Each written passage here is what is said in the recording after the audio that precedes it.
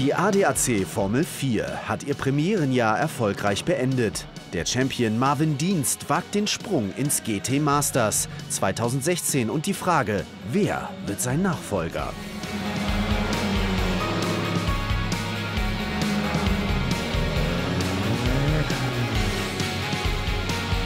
Das Fahrerfeld in diesem Jahr noch größer. Ganze 46 Fahrer haben sich eingeschrieben. Der Abschlusstest in Oschersleben avanciert zum ersten Gradmesser.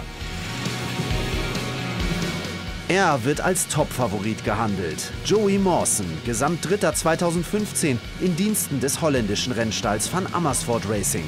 Der Australier weiß, worauf es ankommt in einem so großen Pool an Talenten.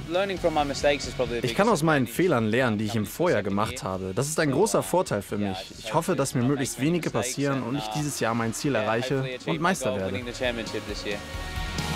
Die Frage nach der Konkurrenz kann Mawson klar beantworten. Ich denke, dass mein ehemaliger Teampartner Mick Schumacher mein größter Rivale sein wird. Mick Schumacher, Sohn von Formel 1 Rekordweltmeister Michael, tritt auch 2016 in der ADAC Formel 4 an. Sein neuer Rennstall, das Prema Power Team, soll ihm einen weiteren Karriereschub ermöglichen. Us Racing startet ebenfalls mit Titelambitionen. Im Vorjahr stellte das Team unter dem Namen HTP Junior Team Ungar den Meister. Nun soll eine Kooperation mit Micks Onkel Ralf Schumacher weitere Impulse schaffen. Klar möchte man, möchte man alle vorne sehen am liebsten, aber man weiß natürlich selber aus eigener Erfahrung, dass das nicht gehen wird.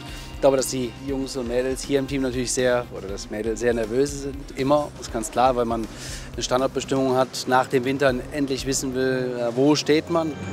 Mit Carrie Schreiner fährt eine von vier weiblichen Starterinnen im ADAC Formel 4 Feld für Us Racing. Michelle Halder, Marilyn Niederhauser und auch Sophia Fleur stellen sich der Herausforderung für die der Test in Oschersleben eine besondere Bedeutung hat. Wichtig ist, dass man das meiste aus dem Auto rausholt, dass man guckt, wie das Auto eingestellt ist, was am besten ist für mich, also für den Fahrer und ähm, dass wir das auch dann dementsprechend ne, in zwei Wochen dann umsetzen können fürs Rennen. Wer triumphiert 2016? Das erste Rennwochenende vom 15. bis 17. April an gleicher Stelle wird erste Hinweise darauf geben, welche Fahrerteamkombination um den Titel kämpft.